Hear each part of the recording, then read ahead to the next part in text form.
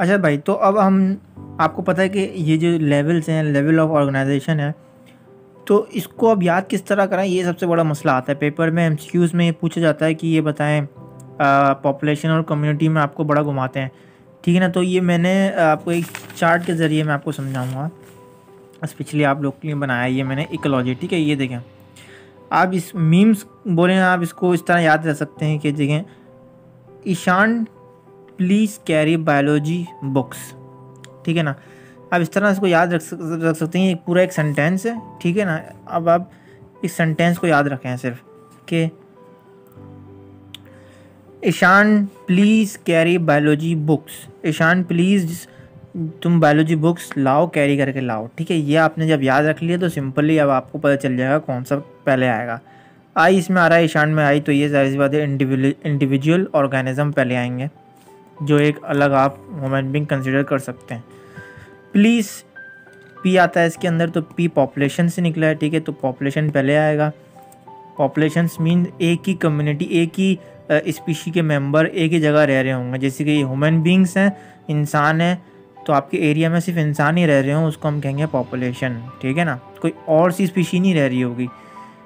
Carry सी आ रहा है तो यहाँ पर कम्युनिटी आएगा। कम्युनिटी का मतलब कि बहुत सारे स्पीशीज़ एक ही जगह रह रहे होंगे, जैसे कि प्लांट अलग स्पीशी है एनिमल अलग स्पीशी है इंसान अलग स्पीशी हैं और ये छोटे छोटे जितने भी हैं, सब अलग अलग स्पीशीज़ हैं, वो सब एक जगह, एक ही जंगल समझ लें, पूरा जंगल है, उसमें रह रहे हैं। तो इसको हम कम्युनिटी कहेंगे।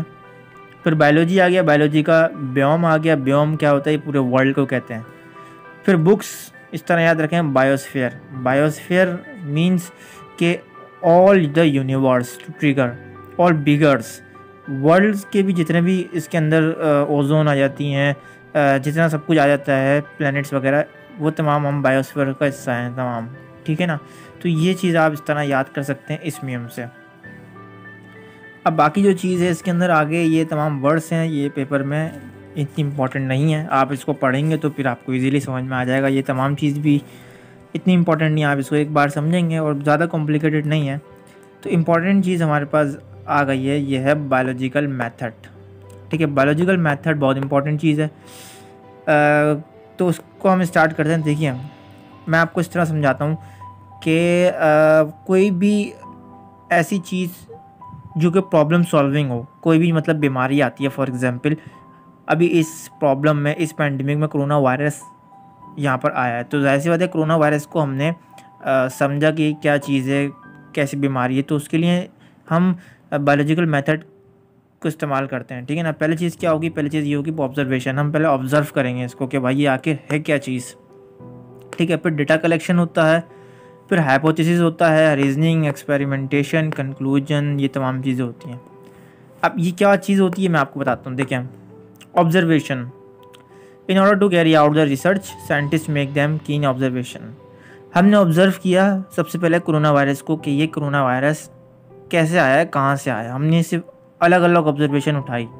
हमने फिर आ, उसके कलेक्ट द फैक्ट्स फैक्ट्स को कलेक्ट किया जिसको हम कहते हैं डेटा कलेक्शन ठीक है? बहुत सारे लोगों ने रियलिटी को जाना कि ये असल में होता क्या है। ठीक है ना? तो ये फैक्ट्स को हमने कलेक्ट किया। दैन उसके बाद on the basis of this fact a scientist formulated tentative statement called hypothesis तमाम चीज़ के बाद एक स्टेटमेंट साइंटिस्ट देते हैं, जिसको हम कहते हैं टेंटेटिव स्टेटमेंट और उस स्टेटमेंट को हम कहते हैं हाइपोथेसिस ठीक है? अब कोरोना वायरस को हम डिटेक्ट कर चुके हैं।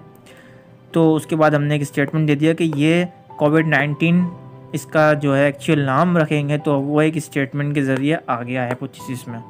अब आती है यहाँ पर इम्पोर्टेंट चीज़ रीजनिंग रीजनिंग में आपको पता है कि दो चीज़ें होती हैं।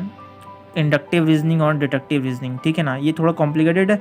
मैं आपको इजी करके समझाता हूँ कि ये इंडक्टिव रीजनिंग क्या होती है और डिडक्टिव रीजनिंग क्या होती है। तो डिडक्टिव रीजनिंग ये रही और इंडक्टिव रीजनिंग ये रही। तो पहले मैं आपको अपनी तरीके से समझाता हूँ, फिर आप इसकी बुक रीडिंग करेंगे तो आपको ईजिली समझ में आ जाएगा। तो ये चीज़ के डिफरेंस आ गए हैं, इंडक्टिव रीजनिंग और डिडक्टिव रीजनिंग, ठीक है ना? अब ये है क्या चीज़ मैं आपको बताता हूँ। इंडक्टिव रीजनिंग वो होती है जो स्पेसिफिक से जनरल की तरफ़ जाता है। ठीक है ना? और डिटेक्टिव रीजनिंग वो होती है जो जनरल से स्पेसिफिक तरफ़ जाता है। अब भाई ये क्या पंचायत है? ये क्या पंचायत है? भैया स्पेसिफिक से जनरल की तरफ़ जाना मकसद एग्ज़ाम्पल मैं आपको देता हूँ उसकी कोरोना वायरस की। तो आपको पता है कोरोना वायरस पूरी दुनिया में फैला, ठीक है? अब हमें स्पेसिफिक से जनरल की तरफ़ जाना है। तो कोरोना वायरस की अगर हम स्पेसिफिक को देखें, ये कहाँ से आया था? वरान एक नाम का शहर था, ठीक है? वहाँ से एक एक कोई मार्केट थी जहाँ से मीट वगैरह बहुत मिलते थे, गोश्त वगैरह मिलते थे, उस मार्केट से ये फैला। तो ये क्या हो गया? स्पेसिफिक चीज़ हो गई। अब हम जनरल की तरफ़ जाएँगे तो ये वरान शहर वरान शहर से आया था तो ये हम जनरल की तरफ़ जा रहे हैं। फिर वरान शहर से हम गए चाइना से चाइना से फैला। ठीक है ना? तो चाइना एक, ज़ाहिर से एक पूरा एक बहुत बड़ा मुल्क है। तो हम वो जनरल की तरफ़ जा रहे हैं स्पेसिफिक से जनरल की तरफ़ जा रहे हैं। फिर चाइना से ये पूरी दुनिया में फैल गया। ठीक है ना? और मतलब बिगर होता जा रहा है। और जनरल की तरफ़ हम जाते जा रहे हैं तो ये पूरी इस तरह दुनिया में फैला कोरोना वायरस तो हम स्पेसिफिक स्पेसिफिक से जनरल की तरफ़ गए। एक और एग्जांपल इसकी मैं आपको बताता हूँ every rabbits have lungs so every mammals have lungs simple देखें रैबिट खरगोश को कहते हैं, ठीक है ना? खरगोश जो होता है रैबिट जो होता है, उसके पास लंग्स होते हैं। ये स्पेसिफिक बात हो गई। अब रैबिट खुद क्या चीज़ है? वो एक मेमल है। ठीक है ना? हम जनरल की तरफ़ गए। तो अब थोड़ा सा और जनरल की तरफ़ जाएँगे कि भाई तमाम मेमल्स में लंग्स पाए जाएँगे। ठीक है ना? तमाम जितने भी मेमल्स हैं ह्यूमन बींग्स कैंगरू जितने भी ये मेमल्स हैं, उसके अंदर लंग्स पाए जाएँगे। ठीक है? ये जनरल की तरफ़ गए हम। तो ये क्या होती है? इंडक्टिव रीजनिंग होती है। अब डिडक्टिव रीजनिंग में अपोजिट होता है। जनरल से स्पेसिफिक की तरफ़ हम जाते हैं। It's mean example corona virus corona virus की मैं आपको बात करूँ कि पूरी दुनिया में फैल चुका है भैया ठीक है ना? जनरल बात हो गई है। अब हम और कम की तरफ़ आएँगे, और स्पेसिफिक की तरफ़ आएँगे कि ये कहाँ से फैला? ये चाइना से फैला, ठीक है ना? और कम की तरफ़ आए चाइना की तरफ़ फैला। अब और स्पेसिफिक की तरफ़ आएँगे तो चाइना से ये कहाँ से आया था? चाइना से ये वरान शहर से आया था। अब और स्पेसिफिक की तरफ़ जाएँगे तो ये वरान से कहाँ से आया था? भैया गोश्त मार्केट से आया था। कोई कोई ना कोई एक गोश्त मार्केट थी, कोई मीट मार्केट थी, जहाँ मीट मिलते थे, उस उस वाली मार्केट से ये स्पेसिफिक की तरफ़ हम और आ गए, वहाँ से ये आया था। सिंपल और एक और एग्जांपल आपकी ये आ जाती है कि mammals have lungs so rabbit is mammal भाई, जितने भी मेमल्स हैं, उसके पास लंग्स होते हैं, ठीक है ना? ये एक जनरल बात है। तो अगर हम एक मेमल को पकड़ें फॉर एग्ज़ाम्पल रैबिट को ले लें, वो एक मेमल है, ठीक है ना? वो एक मेमल है, खरगोश, और खरगोश के पास लंग होगा। ये हम और स्पेसिफिक की तरफ़ जाते जा रहे हैं, ठीक है ना? तो ये दोनों डिफरेंस है बेसिकली क्या है इंडक्टिव रीजनिंग क्या होती है भाई? स्पेसिफिक से जनरल की तरफ़ जाते हैं और जनरल से स्पेसिफिक की तरफ़ जाते हैं, वो कहलाती है इंडक्टिव रीजनिंग तो सिंपली अब आप बुक रीड करेंगे, आपको इसके दोनों के डिफरेंस आपको इजीली वाजे हो जाएँगे कि ये क्या चीज़ है साली। तो अब रीजनिंग भी आ गई, अब हमारे पास एक्सपेरिमेंटेशन के टाइम आता है, ठीक है? हम एक्सपेरिमेंट करते हैं। तो अब हमने एक्सपेरिमेंट कर लिए। फिर हम कंक्लूजन की तरफ़ आते हैं, एक नतीजे पे पहुँचते हैं कि भाई एक ये कंक्लूजन निकल गया सारी चीज़ें करके, एक रिज़ल्ट निकला है इसका कि ये सामने आ रहा है, ये रिज़ल्ट है। अब एक थ्योरी बनती है, ठीक है ना? थ्योरी बन गई। देखें थ्योरी चेंज हो सकती है लॉ चेंज नहीं हो सकता, ठीक है ना? लॉ बनना बहुत लाजमी है।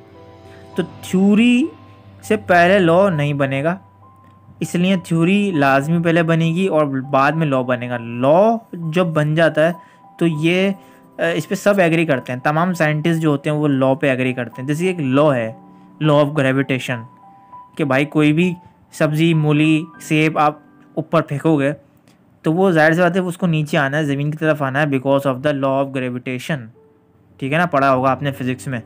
तो ये एक लॉ है, इसको कोई चैलेंज नहीं कर सकता। अब दुनिया क्या है? दुनिया गोल है दुनिया राउंड शेप में है ठीक है ना? तो ये भी एक लॉ है। अब आ, कोई ये नहीं कह सकता दुनिया फ्लैट है। पहले लोग कहते थे दुनिया फ्लैट है। तो थ्योरी में झगड़े हो सकते हैं लेकिन लॉ में कोई झगड़ा नहीं होता कोई फाइट नहीं होती। लॉ लॉ होता है सबके लिए बराबर होता है।